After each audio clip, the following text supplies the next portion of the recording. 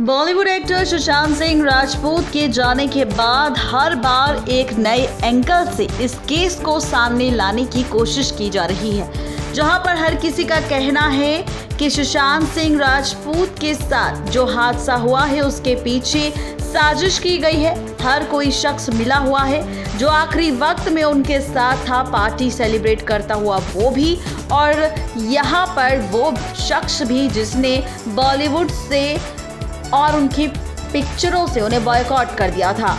Well well, और ऐसे में अब आपको बता दें कि सुशांत सिंह राजपूत ने जब 14 जून की सुबह साढ़े दस बजे बड़ा कदम उठाया था दुनिया को अलविदा कहने का और जब पहली बार पुलिस उन कमरे में गई तब उसकी तस्वीरें वायरल हुई। और ऐसे में उस वायरल तस्वीरों में सुशांत सिंह राजपूत की वो आखिरी तस्वीरें भी सामने आई, जिन्होंने सबको हिलाकर रख दिया। इन तस्वीरों में से रास खुले। इन तस्वीरों के ज़रिए हादसे का सच सामने आया। सुशांत सिंह राजपूत की जो बॉडी थी, उस बॉडी पर पड़े निशान। इस बात का सबूत है कि सुशांत सिंह राजपूत के साथ ज़रूर कुछ हुआ था।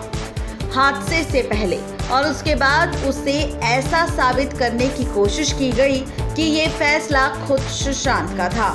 जी हाँ यहाँ पर सुशांत के हाथ पर लाल रंग का निशान मिला। उसके साथ उनकी आँख पर नीले रंग का निशान मिला।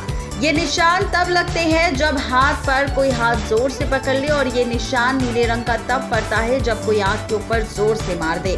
और उसके साथ अगर उनके पैरों की पोजीशन देखी जाए तो उनके पैर भी एक दूसरे से सटे हुए थे और ऐसे में माना जा रहा है कि अगर कोई इंसान खुद ऐसा कदम उठाता है तो उसके पैर एक दूसरे के साथ सटे हुए नहीं होते।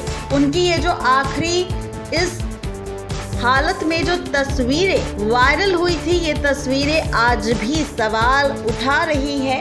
कि आखिर सुशांत सिंह राजपूत के साथ वाकई साजिश हुई थी। अगर ऐसा नहीं हुआ था तो सबसे पहले घर के नौकर को, पुलिस वालों को कॉल करना चाहिए था, ना कि सुशांत के साथ छेड़छाड़ कर उन्हें पंखे से उतार कर बेड पर लेटाना चाहिए था, जिसकी वजह से सबूत इधर उधर हो गए। और इसी के साथ आपको ये भी बता दें कि सुशांत के गले में जो निशान मिला है, उसे लेकर भी सवाल उठाया जा रहा है।